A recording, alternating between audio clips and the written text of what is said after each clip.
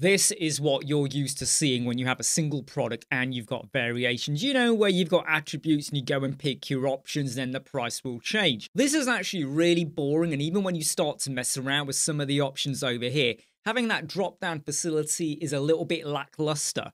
I'm going to show you how to transform this into this, and I've gone and added in three versions. Let's start with the top one. We've got the attributes now with a color radio button and the description.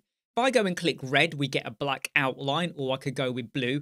And where we have the appointment type, which is another attribute, again, rather than the drop down, I can now click book and I'll get the price. You go and hit add to cart and it will add it to the cart. What about this one down here? This time we don't have the colored circles. However, if I was to click any one of them, I'm going to get a red fill. So if your branding is a particular color, you could do that. And when I pick different options, the prices will change. And the last one below is exactly the same as what we've got above over here, but this time it's in line rather than the stacked look.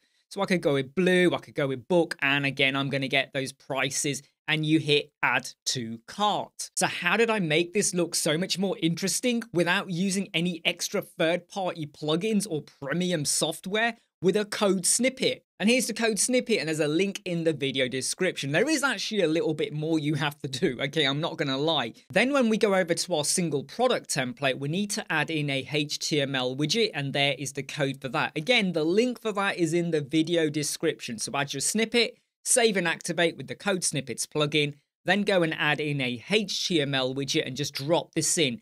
At this point, you don't need to change anything, just drop in the codes as they are. Each of the three versions I'm showing you here are using the add to cart widget that you can easily get from the Elementor sidebar. But inside of each of these, we have different CSS codes. So in this top one, if we go to advanced and I scroll down to custom CSS, there is the code. And if you want to start messing around with this code, because this will modify what you see over here in terms of the layout and the positioning, you can go and do that. And the links are in the video descriptions. I just want to point out though that of all of them, the top one here requires a little bit of extra effort. This is where I'm specifying the hex colors for each of those labels. So over here, the label that has the attribute red, and you can see it over there, this is what the color is, FF0050. And down here where we have blue, we have 0000FF.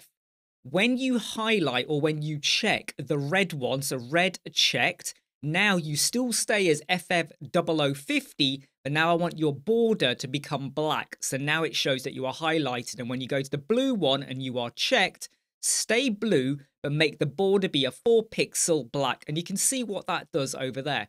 The ones below here don't have that same color added in, so you can take your pick. But I've tried to cover off different scenarios, and I hope you find this useful so that rather than having the boring drop down, add to cart variation looking thing, you go for something that's a little bit more bespoke like this. And the codes that you need are in the video description. I'm Imran from Web Squadron. I hope you like, subscribe, share, and follow. I'll see you soon.